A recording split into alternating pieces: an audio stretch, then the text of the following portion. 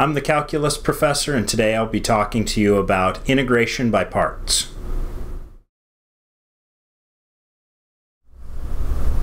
In problem number 37, I'd like to evaluate the integral from 1 half to root 3 over 2 of sine inverse of y dy. All right, uh, I am going to use integration by parts on this guy. Uh, and if I'm going to use integration by parts, I have u and I have dv. And the question is, for sine inverse of y, what can I do with that guy? Do I know that guy's derivative or do I know its antiderivative? And the answer is I know the derivative of sine inverse of y. If I knew the antiderivative of sine inverse of y, I suppose I should just take it and be done, right? So if I knew the antiderivative, this would be a very easy problem. I don't, so I'm going to have to use its derivative to get the job done. That means that dv is everything else. In this case, everything else is just dy. Uh, the derivative, du, of sine inverse of y is 1 over square root of 1 minus x squared. Oh, sorry, not x squared, y squared, because we're in y here, dy. And v, the antiderivative of 1, is just y. Okay, so now let's rewrite this integral using uh, these u, dv, du, and v. So I'll rewrite right over here. This is equal to u times v. So that's y times sine inverse of y. So y sine inverse of y. And remember now that's evaluated from a half to root 3 over 2 minus the integral of v times du. So I put that y up on top and I get y over square root of 1 minus y squared dy and that's evaluated from a half to root 3 over 2. Okay, so I can finish this thing off. I need to plug some things in here, but I need to take an antiderivative of y over the square root of 1 minus y squared, but that's a u substitution. So if I want to use a u substitution on this guy, I want to let u be 1 minus y squared. So du would be negative 2y dy. I have a negative here already. I don't have a 2. Uh, so what I could do is I could make this a minus 2, which would mean that this would have to be a plus 1 half to cancel it out. Does that work? If I bring the 1 half inside, I get minus y, which is perfect.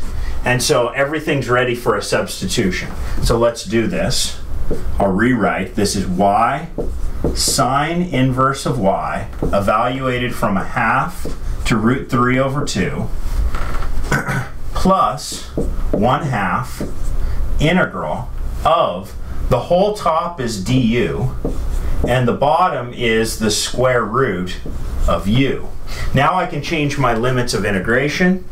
If y is a half, then u is 1 minus a half squared or 1 minus 1 fourth. 1 minus 1 fourth is 3 fourths. So this is 3 fourths. And then if I plug in square root 3 over 2, I get 1 minus square root 3 over 2 squared, which is 3 over 4. 1 minus 3 fourths is 1 fourth. So this is 1 fourth. Okay, now we need to take an antiderivative, and we get y sine inverse y evaluated from 1 half to root 3 over 2 plus 1 half. The antiderivative of u to the negative 1 half is u to the 1 half times 2. So this is going to be u to the 1 half times 2 evaluated from 3 fourths to 1 fourth. And now we're ready to start plugging things in. Let's do it. If I plug in root 3 over 2, I get root 3 over 2 times sine inverse of root 3 over 2. In other words, sine of what angle gives me root 3 over 2? And the answer is pi over 3. Minus, plug in 1 half, and I get 1 half times sine inverse of 1 half. In other words, sine of what angle gives me a half? And that would be pi over 6. Okay, so that piece is done. Plus, uh, notice I have a 2 on top, a 2 on bottom. Those can cancel. So I get plus, plug in the square root of 1 fourth is 1 half. And the square root of 3 fourths is, I need to subtract this, is the square root of 3 over 2. All right. So, uh, what is the final answer here? I could simplify this a little bit, uh, not a lot. Is I get the square root of 3 pi over 6 minus pi over 12 plus 1 half minus root 3 over 2. Now, if I wanted to, I could combine some of these things into one fraction. I could get a common denominator of 12. Maybe we could make this look a little prettier, but at the end of the day, this is my final answer.